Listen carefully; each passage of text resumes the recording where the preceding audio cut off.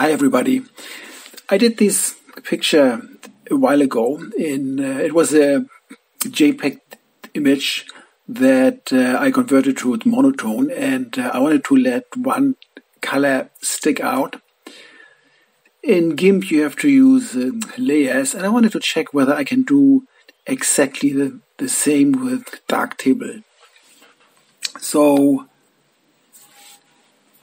Actually, you can. So um, have a look how I did that. So this is, I'm opening now the raw file. Here we go.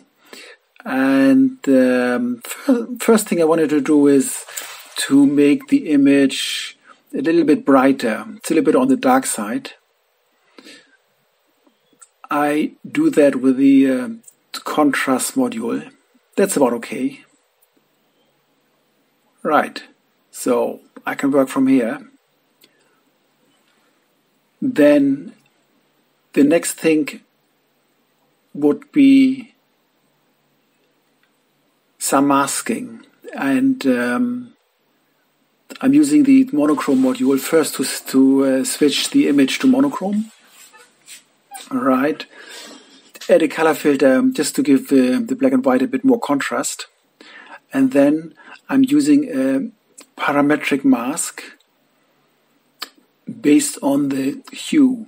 I take a spot sample of the red color of the car. See how it looks now. So this is this is the mask now. Everything is in the mask, and now I am reducing the color range to just get the red color. Here we go. That looks already quite okay.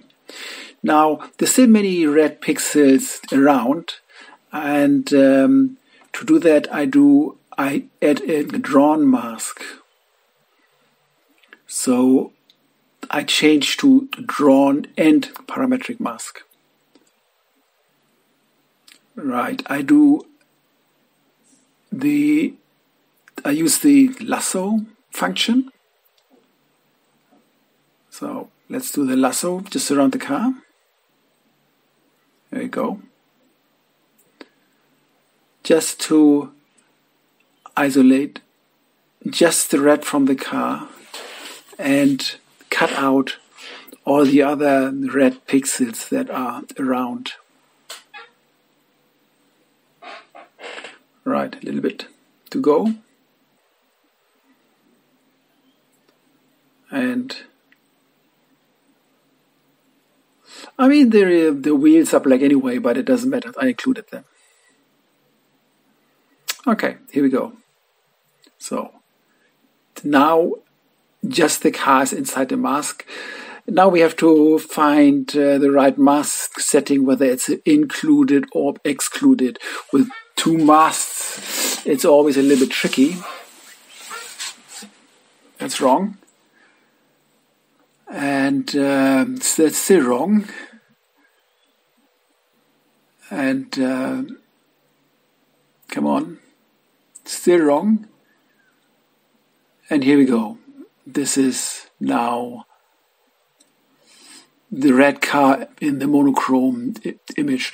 Now what I'm going to do next is I wanted to sharpen the image a little bit to make it a, bit, a little bit more contrasty. I'm using the high pass for that. Sharpness to 100% and then the contrast very low to let's say what did I do? 5% 5% right. And then I do a parametric mask with the overlay. So and now we add a little bit more contrast on the mask and um, we see that the image gets sharper. Here we go. Right. That was the high pass. So the next thing is I like to crop it a little bit to get it um, to the same size as the JPEG that I used before. Here we go. That's about right. And yeah, I can use I can use that.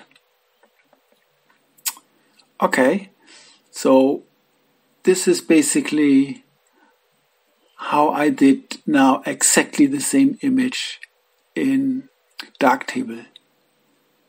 Hope you like it and um, try it out yourself. It's